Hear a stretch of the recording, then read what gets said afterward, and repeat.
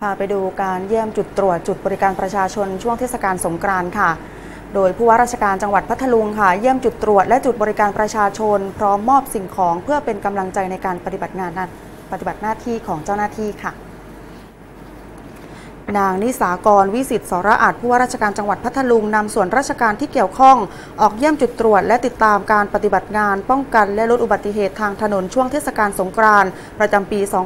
2567เพื่อเป็นขวัญกำลังใจทั้งในพื้นที่อำเภอเมือง อำเภอควนขนุน อำเภอศรีบรรพตอำเภอป่าพยอม รวม 8 จุด ทั้งด่านหลักริมถนนและด่านชุมชน ที่เป็นทางผ่านของแหล่งท่องเที่ยวสำคัญของจังหวัด เพื่อให้กำลังใจเจ้าหน้าที่ในการอำนวยความสะดวกแก่ผู้ใช้รถใช้ถนน พร้อมขอบคุณในความเสียสละดูแลความปลอดภัยประชาชน ขณะที่ประชาชนให้ความร่วมมือเป็นอย่างดี โดยเฉพาะรถจักรยานยนต์ผู้ขับขี่สวมหมวกนิรภัยเกือบร้อยเปอร์เซ็นต์อาจมีบ้างบางคนที่ไม่สวมหมวกนิรภัย เจ้าหน้าที่ได้มีการกล่าวตักเตือน แนะนำให้ปฏิบัติตามกฎหมายอย่างเคร่งครัด นอกจากนี้ได้ลงพื้นที่ตรวจเยี่ยมสถานีขนส่งผู้โดยสารจังหวัดพัทลุง เพื่อสร้างขวัญกำลังใจแก่เจ้าหน้าที่ และพบปะผู้ที่มารอใช้บริการโดยสารสาธารณะ พร้อมมอบของที่ระลึกให้กับผู้ที่เดินทางอีกด้วย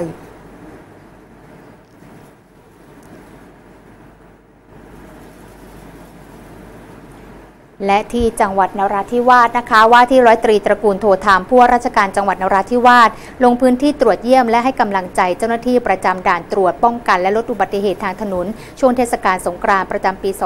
2567 จำนวน 8 จุด ได้แก่จุดตรวจหน้ามัสยิดมูฮัมหมัดมาดี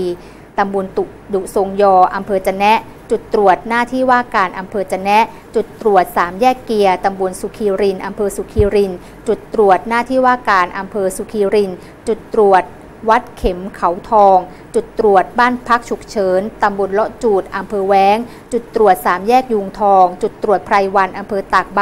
เพื่อให้กำลังใจแก่เจ้าหน้าที่ที่ปฏิบัติหน้าที่อำนวยความสะดวกในการเดินทางของประชาชน เน้นย้ำให้ปฏิบัติตามข้อสั่งการของกระทรวงมหาดไทยอย่างเคร่งครัด พร้อมขอความร่วมมือพี่น้องประชาชน ในการปฏิบัติตามกฎจราจร เพื่อความปลอดภัยในชีวิตและทรัพย์สิน โอกาสนี้ได้มอบของที่ระลึกให้แก่ประชาชนที่สัญจรไปมา และได้มอบเครื่องอุปโภคบริโภค น้ำดื่ม ให้แก่เจ้าหน้าที่ประจำจุดตรวจด้วยค่ะ